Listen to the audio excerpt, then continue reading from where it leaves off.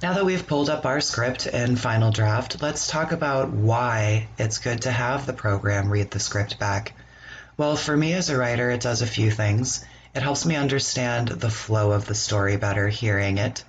Your brain works differently reading and hearing information, and you can learn something different from each of those methods. So I like to do all of the method, methods, and hearing the program read it back to me is a very easy way to get an audio interpretation of the script. Also, when I'm hearing it back, it helps me identify places where dialogue's not working. Dialogue really separates amateur writers from professional writers, and hearing your dialogue out loud is a great way to pick up on anything that doesn't sound really natural or it's maybe a little choppy. Also, you want your characters to each have their own distinct voice, and hearing the program read their words can help you identify which lines are not written in their style. Also, when I'm having the program read to me, it forces me to slow down.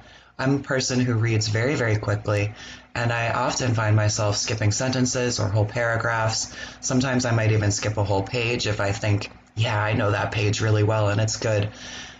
That's all. Um, those are all ways to miss really important mistakes or miss opportunities to flesh out more from your script and from your characters. So I like being forced to slow down my read. Also, in terms of proofreading, having the program read back to you is an awesome, awesome tool. It can help you pick out words that are spelled correctly so they won't get up, picked up in spell check, um, but they're not the right word. So uh, when you're hearing it out loud, you automatically notice, oh, that's that's incorrect. Whereas sometimes if you're reading it, your eyes see the right word spelled, see the word spelled correctly, and we trick ourselves into thinking that it's the right word and, and just kind of move on. But that's not always the case. And so again, hearing the information back to you um, so that you can process it in an audio way gives you another layer of understanding of your work. So let's dive in. So here in our final draft toolbar, we have lots of, you know, lots of tabs to work with. We're going to go into our tools right now. And in our tools, you'll see this speech control panel. The first thing we're going to do is we're going to assign voices. So we're going to click on assign voices and it's going to bring us up a pop-up box. We're going to have three tabs. We have our characters, that's where we will assign what voice we want each person to speak in. We have our narrator. Here we can choose the voice that we want the narrator to speak in and what the narrator is going to actually read us. And then our third tab is our actors. This is where we assign the voices to each um, each actor, uh, each one of these. So I always start with my actors on the right.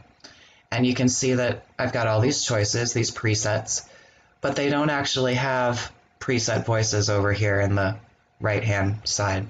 So I'm going to start with man number one. And I don't personally change the names of the actors, um, but that's you can if you want to. So I'm just going to go with man number one, and I'm going to make him David. I'm going to leave his pitch right in the middle, and I'm going to leave his speed right in the middle. Now I can adjust these um, Pitch I will be adjusting for different characters. Speed I will not. Here's why. Let's take a little preview listen. Hello, Hello. this is this Man 1. Now, if I go even just a little bit faster, just the next click up, it becomes unlistenable. Hello, Hello. this is Man, this 1. Is Man 1.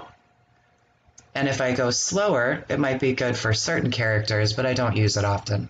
Hello, Hello. this, this is Man, Man 1. 1. So really you want to be right in the middle on your speed. Now tone is a different matter. Changing the pitch is how we're going to create different character voices. So for now, we'll we'll leave man one right Hello, in the middle. this is man one. Now I'll go to man two, and I'll use David again, but I'm going to give him a lower pitch. Hello, Hello. this is this man, is two. man two. Okay, you see that? Now for woman one, I'll change that to zero. I'll leave it right in the middle. Hello. Hello. This is this woman is one.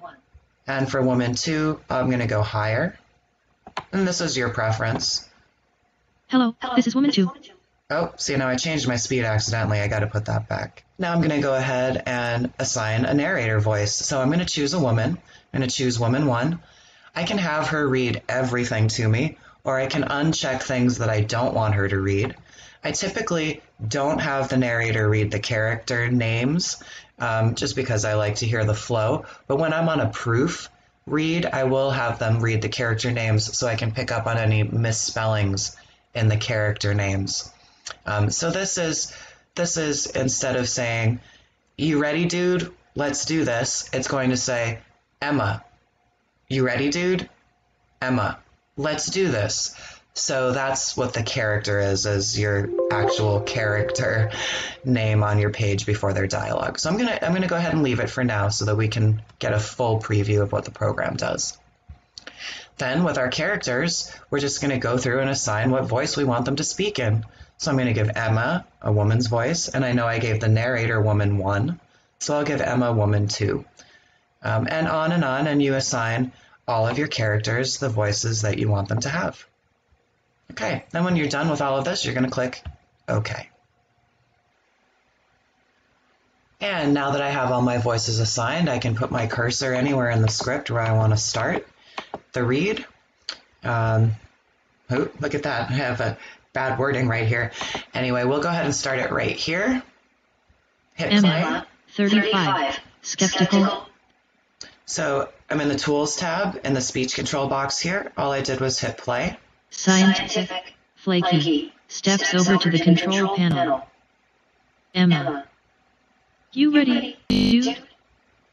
Emma's POV Judas, a black and white cat, looks on with zero interest. Emma. Let's do this.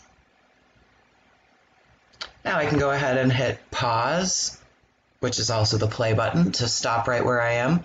And then if I hit play again, it'll pick up right where I stopped. Computer. VO. Initiating infusion. Or I can go ahead and hit stop and stop the read completely. Can fast forward from here to the next paragraph, and I can go backwards to the previous paragraph as well. So there you have it, a little tutorial in how to get Final Draft to read to you. I hope this has been super helpful for you. Go ahead and drop me a note. Let me know how you benefit from having your scripts read back to you and what else you'd love to see on Final Draft tutorials. Thanks so much for watching, guys. Have a great day. Happy writing.